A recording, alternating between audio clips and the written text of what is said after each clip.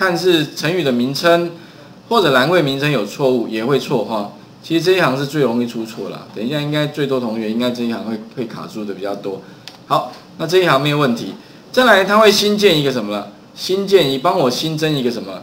一个工作表，把最后查询的结果放在这里，叫什么？叫蛇，有没有？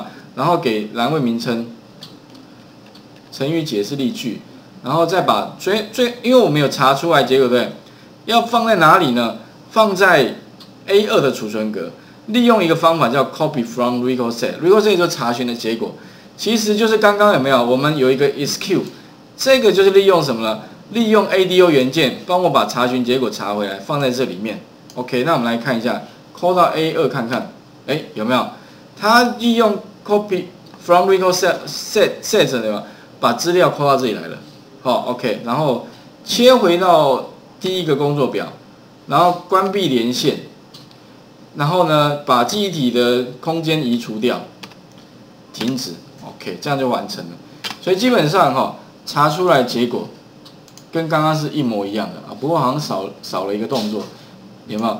这个应该还可以再更好了，因为蓝蓝框好像没调整。不过你可以把刚刚录的那那那几行程式抠过来，也可以有同样的效果。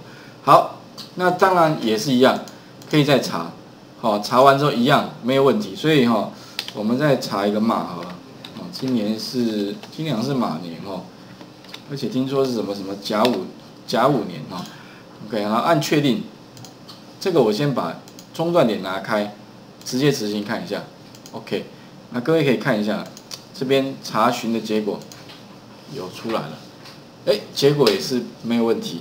那这种的好处是，如果你将来哈你的 S S 资料库呢是放在你们公司。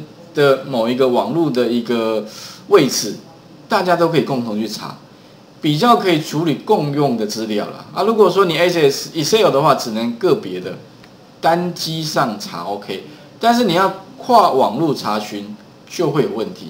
但是 SS 就比较没有这个问题 OK。另外呢，资料量大的话，SS 还是比较快啊。好，Excel 的话当然还是慢一些些，所以请各位试试看哦。那我再把重点提示一下：一，刚刚建立的资料库；二的话，哈，我修改了这个跟这个，有没有？这两栏位跟关键字，那其他都没改，还要改这个，好，还有改这个这个部分呼叫的部分，哈。那等一下也会把画面提供给各位参考，然后呢，画面先换给各位，先试试看，哦。